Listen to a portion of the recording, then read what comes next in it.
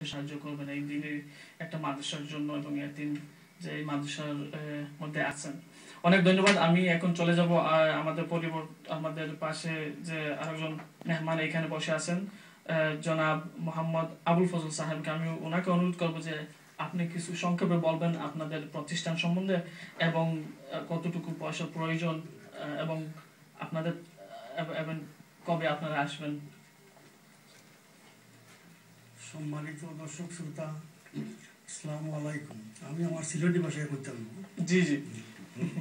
আমরা সুনামগঞ্জ জেলার দক্ষিণ সুনামগঞ্জ উপজেলা বীরগাঁও গ্রাম। খুবই একটা গরিব গ্রাম। দুই হাজার সালে একটা মাদ্রাসা আমরা করছিলাম। অর্থের অভাবে অভাবে আমরা গড়গড়া করতে পারছি না। দুটা টিন সেট ঘর আছে। প্রায় তিনশো ছাত্র ছাত্রী আছে। লেখাপড়ার মান খুব খুবই ভালো। ফাইভে প্রত্যেক বছর একটা কি দুজন বৃত্তি আসে। জি। দুইবার দাখিল পরীক্ষা দেওয়া হয়েছে। রেজাল্টও খুব ভালো হয়েছে প্রায় ninety five percent G G result হয়েছে। গত দুই টার্মে জি। এখন যে আমরা শুরু বীরগাঁওটা এত গরিব গাঁও আর কি। রাস্তাঘাট নাই বর্তমানে পানির তোলে। রাস্তাঘাট নেই ছয় মাস বর্ষা থাকে। ঘর দরজা নাই। আমরা আগামী সাত আগস্ট অথবা সাত রমজানে আসতেছি। আমরা এক লক্ষ পাউন্ডের দরকার আমরা একটা বিল্ডিং বানাইতাম। ঠিক আছে। আশা করি আপনারা আপনি সহযোগিতা করবা।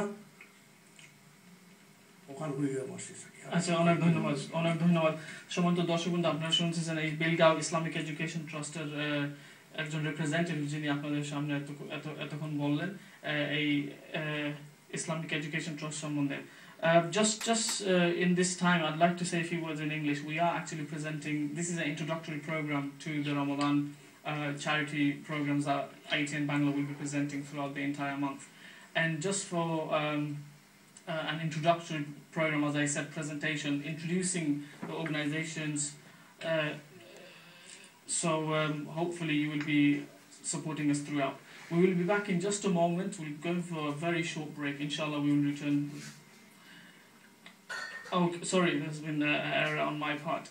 We will be now going to um, our next guests. আমরা আমাদের